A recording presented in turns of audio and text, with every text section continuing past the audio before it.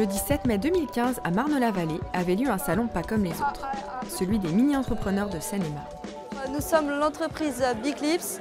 Donc, euh, nous vendons des attaches chaussettes, ce qui permet de ne plus perdre euh, les chaussettes dans le lavage. Ils vont de la machine à laver au sèche-linge et euh, ils s'accrochent aussi sur l'étendoir. Nous les vendons 1 euro pièce et 3,99 le lot de 5 et il y a une forme de chaque. Sur des dizaines créations, c'est une société qui crée des objets personnalisables en fonction de la demande du client avec l'aide d'un scanner et d'une imprimante 3D. Nous avons décidé de partir sur un produit phare, donc c'est le range écouteur, ce qui permet de ne plus avoir les écouteurs emmêlés.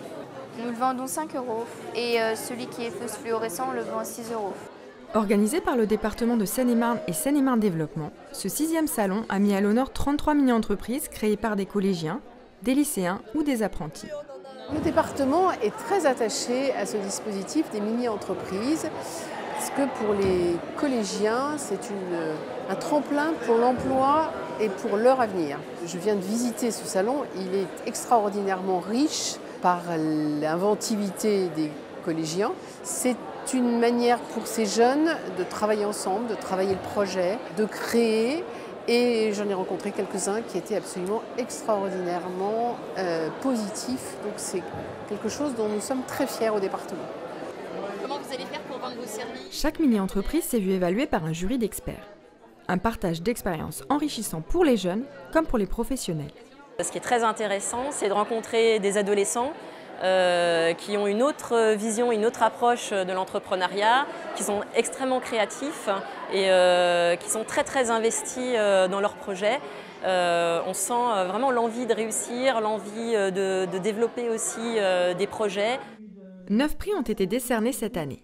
Prochaines étapes pour les lauréats, le concours régional puis national. Arnaud de Bellenay, président de Seine-et-Marne Développement, revient sur ce temps fort pour le département. Avec ce sixième salon des mini-entrepreneurs, le département et Seine-et-Marne Développement encourage et valorise le travail de 40 mini-entreprises et puis euh, essaie de valoriser pour l'avenir auprès de plus de 600 jeunes qui se sont impliqués euh, le goût d'entreprendre, essaye de semer ces graines pour que l'esprit d'entreprise irrigue l'ensemble des collèges. Plusieurs mini-entreprises seine-et-marnaises se sont distinguées lors de précédents championnats nationaux et même européens. Souhaitons qu'il en soit de même pour les lauréats de cette année et que perdure encore longtemps l'esprit d'entreprendre chez les jeunes seine et marnais.